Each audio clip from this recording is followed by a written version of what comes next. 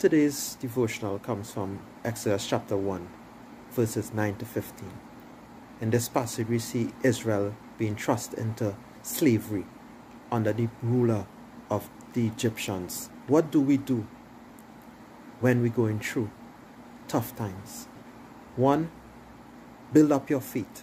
We read the scriptures intentionally looking for God's promises He made to you and claim them as your own. Be mindful to keep them always at the top of your mind to ensure that your faith is built. Two, pray until something happens.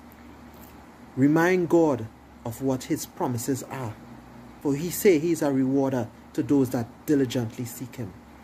And three, stand firm and be courageous in spite of it all and you through him will have the victory.